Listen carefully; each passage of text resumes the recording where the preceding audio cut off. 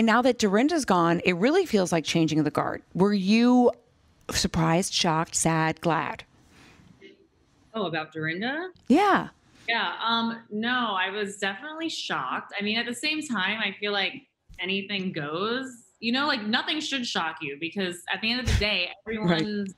just as good as their last season, right? Like you never know if you're on the chopping block or not. So um, obviously she had, you know, a difficult season. So I guess it's not that shocking, but at the same time it is because she's beloved, you know, and she's great on TV. She's great TV, but unfortunately, for whatever reason, you know, she's not going to be on this season. So I mean, if I had to put money down, I would have thought Ramona would have been the one to go. I mean, Ramona's had quite a few years of being sometimes gnarly and nasty, but uh, you know, I guess it just makes the show more interesting. Have you spoke to Dorinda at all? Have you texted her? I would imagine. Yeah, spoke after the news. I was actually on my way to Utah when everything happened, but I can't remember. It was like I left the day after, the day before, or the day of. But I did get to speak to her on the phone briefly. Actually, I think I was on the way to the airport, and I spoke to her, and you know, she seemed great. Like she seemed okay. Like she was just being very honest about the whole thing. And like, look, I'm not thrilled about it, but I'm also um, relieved in some ways. And I think I read that somewhere she had said that too. So, I mean, she seems like she's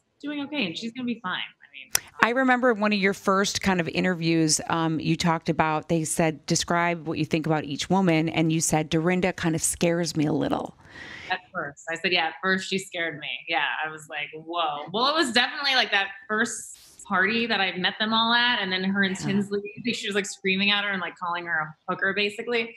Um, yeah, that was intense. And I was like, I don't know about this one, you know. But at the end of the day, and then, you know, we ended up really bonding and she really had my back so much with Ramona. And, you know, I have a lot of, I have a big soft spot in my heart for Dorinda.